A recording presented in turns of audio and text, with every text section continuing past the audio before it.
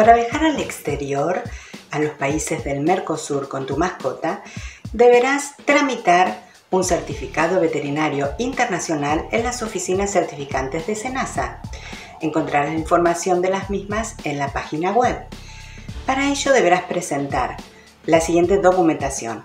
Certificado de salud, certificado de vacunación antirrábica y certificado de desparasitación interna y externa, los cuales son emitidos por tu veterinario privado. Las oficinas certificantes de SENASA figuran en la página web de SENASA y si realizas el trámite por autogestión o presencial, deberás corroborar el horario de los mismos que está modificado por la pandemia del COVID. Para la realización del trámite para la obtención del certificado veterinario internacional, para viajar con tus mascotas a los países del Mercosur, no es necesario llevar al perro o al gato.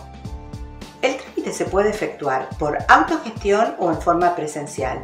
Para la emisión del certificado veterinario internacional deberás presentar el certificado de salud, certificado de vacunación antirrábica, certificado de desparasitación externa e interna, los cuales se emiten por un veterinario particular.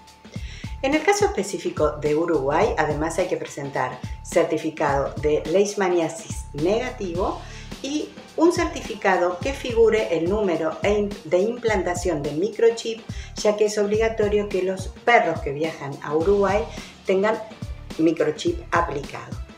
En el caso de Brasil, existe una excepción para residentes o brasileños que viajen a su país, en la cual podrán no presentar el certificado veterinario internacional mientras dure la pandemia, sí deberán presentar el certificado de salud y la libreta de vacunación de esos animalitos.